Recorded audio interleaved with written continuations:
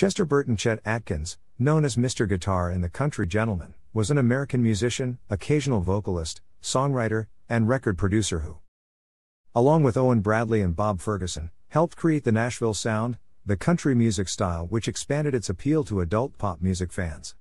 He was primarily known as a guitarist. He also played the mandolin, fiddle, banjo, and ukulele. Atkins's signature picking style was inspired by Merle Travis.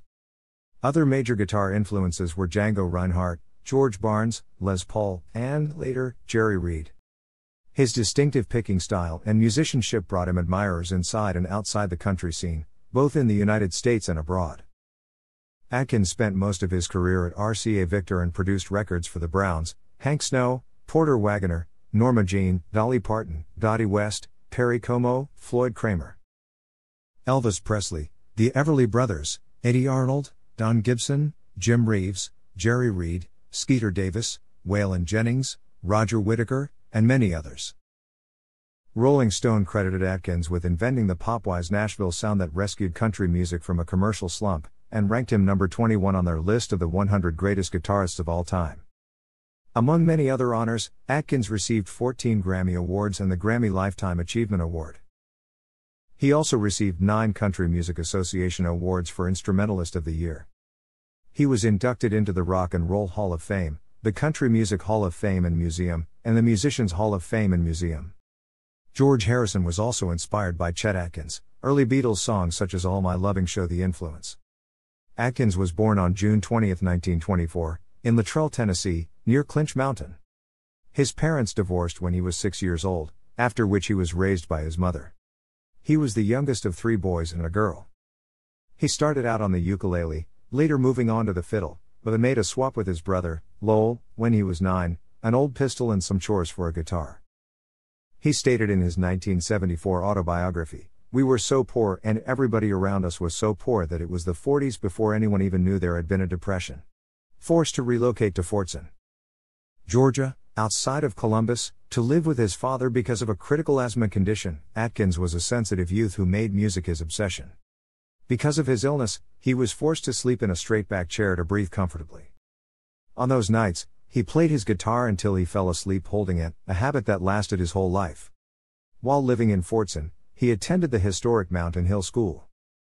He returned in the 1990s to play a series of charity concerts to save the school from demolition. Stories have been told about the very young Chet, who, when a friend or relative would come to visit and play guitar, would crowd in and put his ear so close to the instrument that it became difficult for the visitor to play. Atkins became an accomplished guitarist while he was in high school. He used the restroom in the school to practice, because it had good acoustics. His first guitar had a nail for a nut and was so bowed that only the first few frets could be used. He later purchased a semi acoustic electric guitar and amp, but he had to travel many miles to find an electrical outlet, since his home didn't have electricity. Later in life, he lightheartedly gave himself the honorary degree CGP. In 2011, his daughter Merle Atkins Russell bestowed the CGP degree on his longtime sideman Paul Yandell. She then declared no more CGPs would be allowed by the Atkins estate. His half brother, Jim, was a successful guitarist who worked with the Les Paul Trio in New York. Atkins did not have a strong style of his own until 1939, when he heard Merle Travis picking over WLW radio. This early influence dramatically shaped his unique playing style. Whereas Travis's right hand used his index finger for the melody and thumb for bass notes, Atkins expanded his right hand style to include picking with his first three fingers, with the thumb on bass. Chet Atkins was an amateur radio general class licensee. Formerly using the call sign WA4CZD, he obtained the vanity call sign W4CGP in 1998 to include the CGP designation, which supposedly stood for Certified Guitar Picker. He was a member of the American Radio Relay League. After dropping out of high school in 1942, Atkins landed a job at Knox AM Radio in Knoxville, where he played fiddle and guitar with the singer Bill Carlisle and the comic Archie Campbell and became a member of the station's Dixieland Swingsters. A small swing instrumental combo. After three years, he moved to WLWAM in Cincinnati, Ohio, where Merle Travis had formerly worked. After six months, he moved to Raleigh and worked with Johnny and Jack before heading for Richmond, Virginia, where he performed with Sunshine Sue Workman. Atkins's shy personality worked against him, as did the fact that his sophisticated style led many to doubt he was truly country. He was fired often, but was soon able to land another job at another radio station on account of his unique playing ability. Atkins and Jethro Burns married twin sisters, Leona and Lois Johnson, who sang as Laverne and Fern Johnson, the Johnson sisters. Leona Atkins outlived her husband by eight years, dying in 2009 at the age of 85. Traveling to Chicago, Atkins auditioned for Red Foley, who was leaving his star position on WLS AM's National Barn Dance to join the Grand Ole Opry. Atkins made his first appearance at the Opry in 1946 as a member of Foley's band. He also recorded a single for Nashville based Bullet Records that year. That single, Guitar Blues, was fairly progressive, including a clarinet solo by the Nashville dance band musician Dutch McMillan, with Owen Bradley on piano.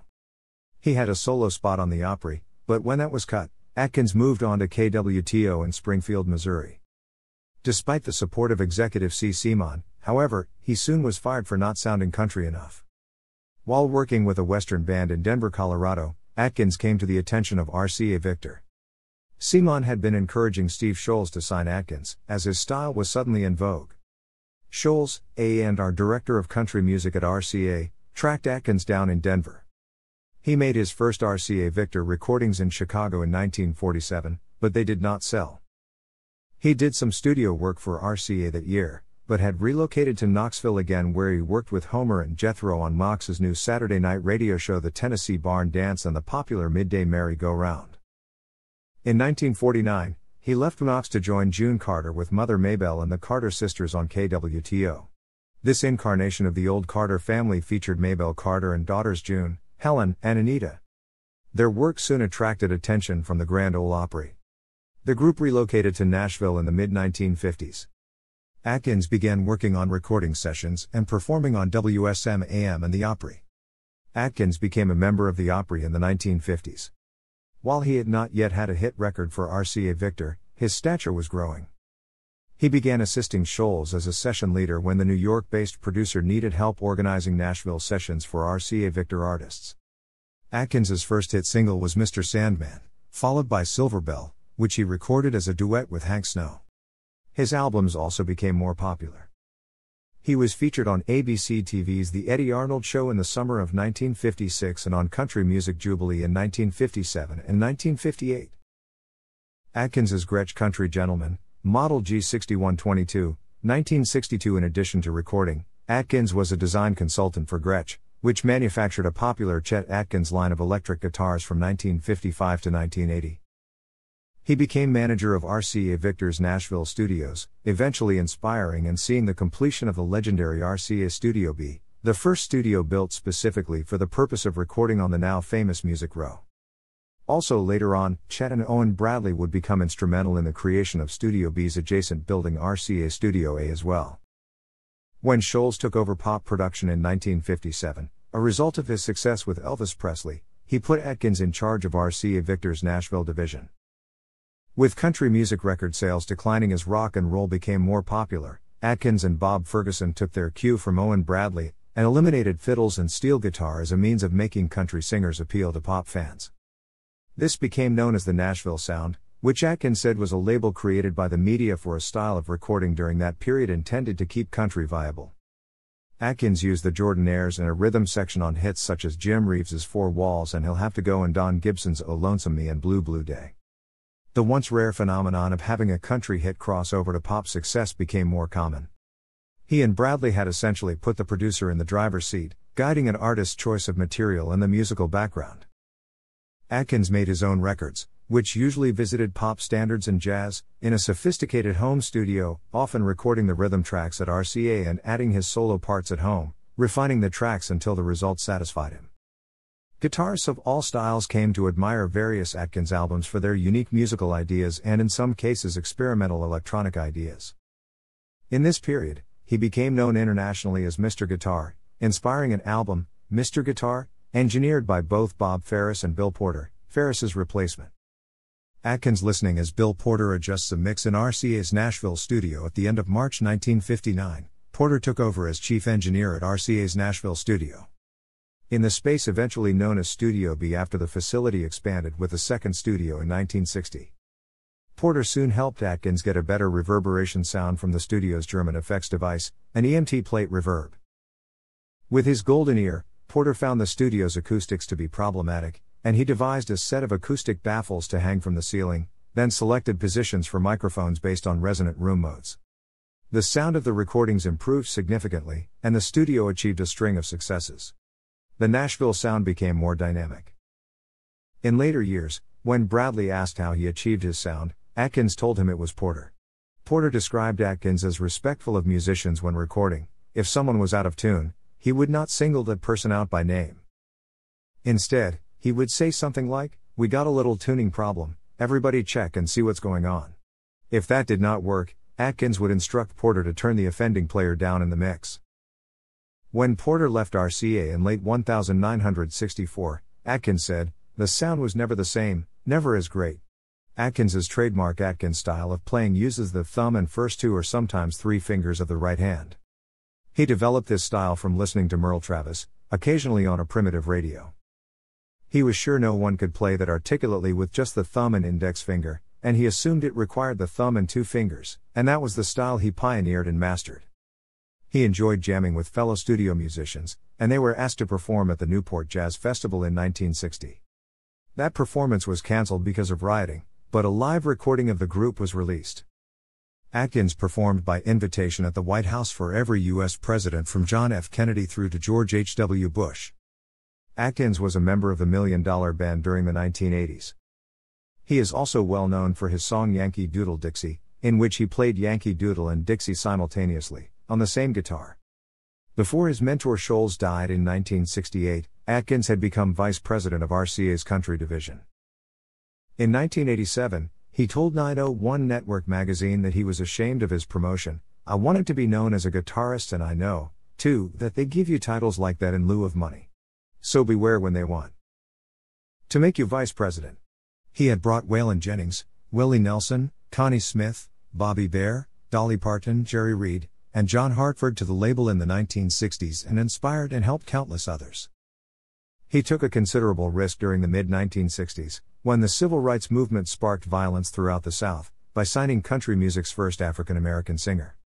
Charley Pride, who sang rawer country than the smoother music Atkins had pioneered. Atkins's biggest hit single came in 1965, with Yakety Axe, an adaptation of Yakety Sax, by his friend, the saxophonist Boots Randolph. He rarely performed in those days and eventually hired other RCA producers, such as Bob Ferguson and Felton Jarvis, to lessen his workload. In the 1970s, Atkins became increasingly stressed by his executive duties. He produced fewer records, but could still turn out hits such as Perry Como's 1973 pop hit And I Love You So. He recorded extensively with close friend and fellow picker Jerry Reed, who had become a hit artist in his own right.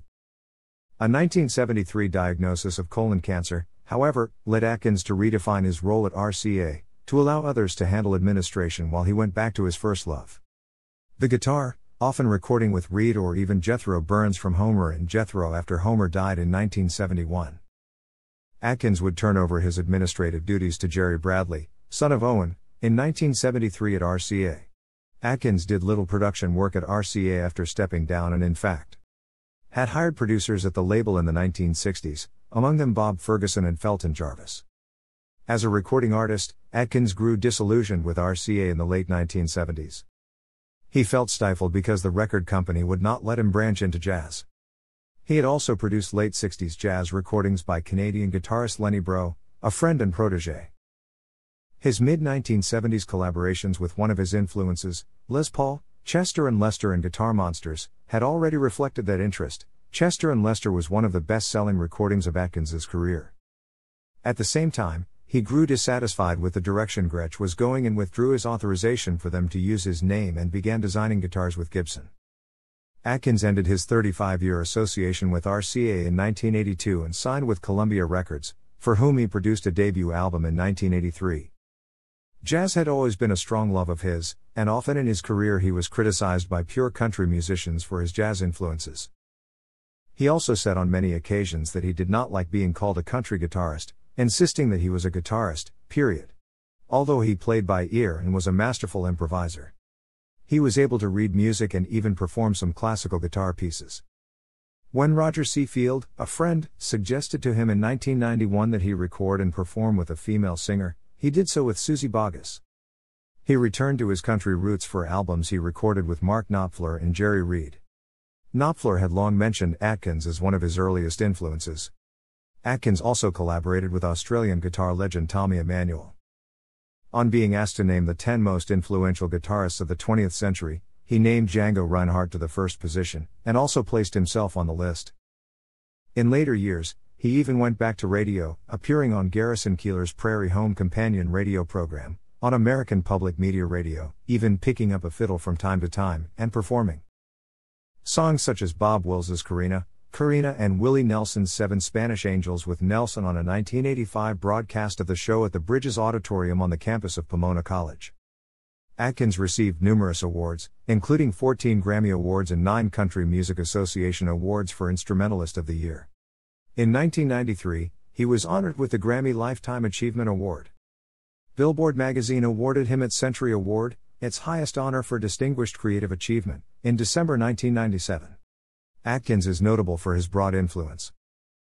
His love for numerous styles of music can be traced from his early recording of the stride pianist James P. Johnson's Johnson Rag, all the way to the rock stylings of Eric Johnson, an invited guest on Atkins's recording sessions. Who and Atkins attempted to copy his influential rocker Cliffs of Dover, led to Atkins's creation of a unique arrangement of Londonderry air.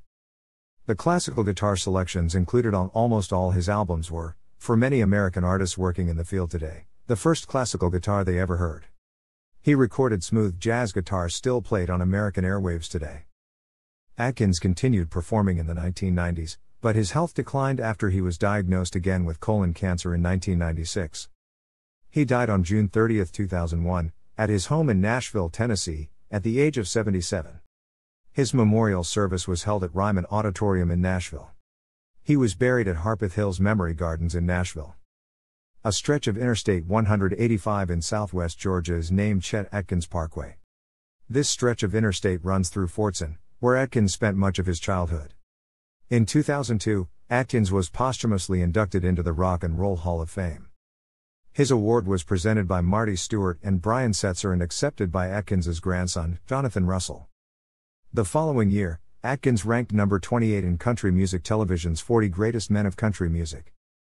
At the age of 13, the future jazz guitarist Earl Klugh was captivated watching Atkins's guitar playing on the Perry Como show. Similarly, he was a big influence on Doyle Dykes. Atkins also inspired Drexel Jones and Tommy Emmanuel. Clint Black's album Nothing But the Tail Lights includes the song Ode to Chet, which includes the lyrics Cause I Can Win Her Over. Like Romeo did Juliet, if I can only show her I can almost pick that legato lick like Chet and it'll take more than Mel Bay one. 2 and 3 if I'm ever gonna play like CGP. Atkins played guitar on the track. At the end of the song, Black and Atkins had a brief conversation. Chet's song Jam Man is currently used in commercials for Esurance.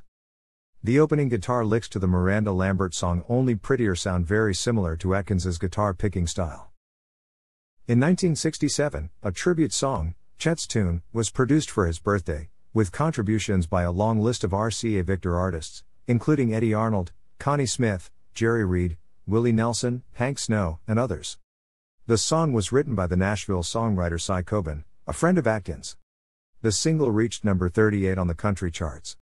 In 2009, Steve Wariner released an album titled My Tribute to Chet Atkins. One song from that record, Producer's Medley, featured Wariner's recreation of several famous songs that Atkins both produced and performed. Producer's Medley won the Grammy for Best Country Instrumental Performance in 2010. In November 2011, Rolling Stone ranked Atkins number 21 on their list of the 100 greatest guitarists of all time. Country Music Association Country Music Hall of Fame and Museum Grammy Awards Rock and Roll Hall of Fame. Thanks for watching.